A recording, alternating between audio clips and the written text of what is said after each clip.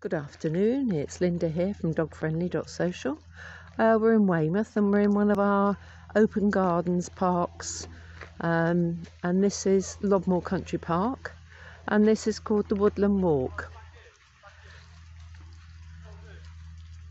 At the moment, because um, there's a lot of people walking around and um, you will find the cyclists will use this footpath as well so please keep your dogs close and uh, pop them back on a lead. Also, this is uh, area litter picked uh, regularly by um, volunteers, um, so please don't leave any litter around.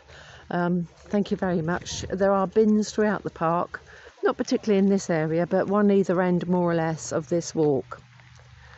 As you can see, there's a little pitch and putt just through there, um, and they will let you, if you've got a well behaved dog, that stays on a lead close to you, walk around the course with them. Um, there's also other concessions here, but many of them unfortunately are not open at the moment. But we do have the sand uh, world here, which is lovely for uh, families to visit, and um, they're very dog friendly.